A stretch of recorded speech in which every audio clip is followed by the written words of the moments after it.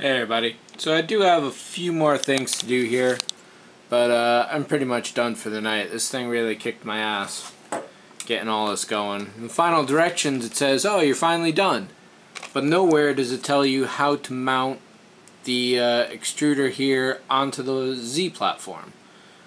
So looking through all the pictures, it eventually showed up that used these two knobs so I did guess correctly that the long thin one goes by itself in the middle there or up there rather.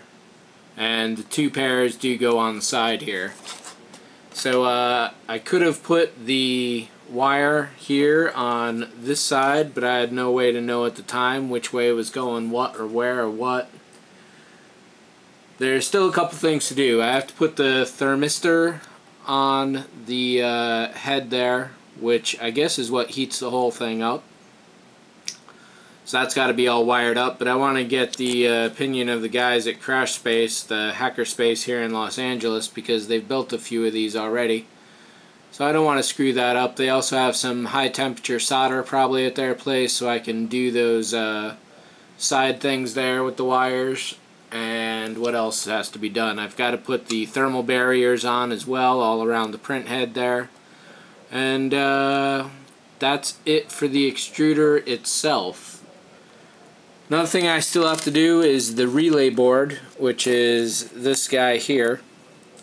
Can't tell you exactly what it does but basically you hook it up between the extruder and the motherboard.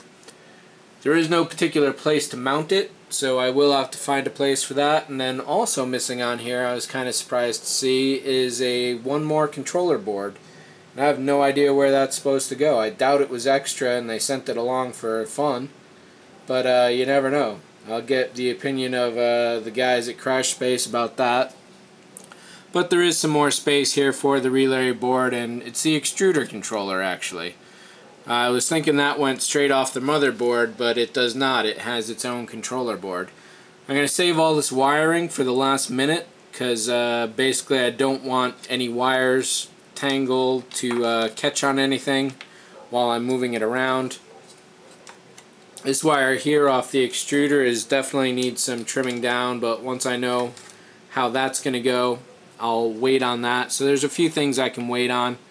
Uh, all my spare parts for this that I still have to do is in this box here except for the relay board which I might do alone because uh, this looks like it could be fun. It's just a blank PCB that I've got to solder a lot of things into.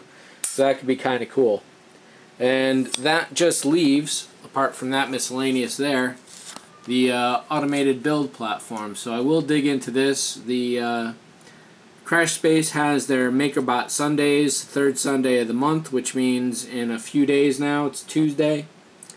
So uh, in five days, four days or so, I'll head over there, bring my bot with me, get the opinion of the guy there that's most senior on, I think he's built like two or three of these now at least.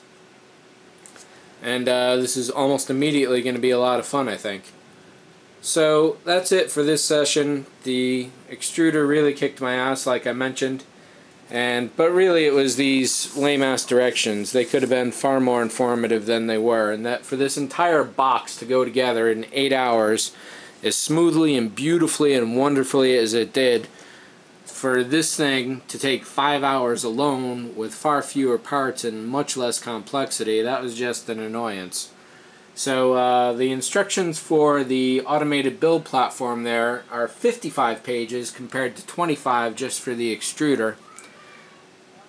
Hopefully they're better written and I won't have that much of a headache. I'm definitely going to breeze through them first. And uh, that is pretty much that, I think. So that wraps up this session. Watch for the rest of it coming up soon. Thanks for watching as always. See ya.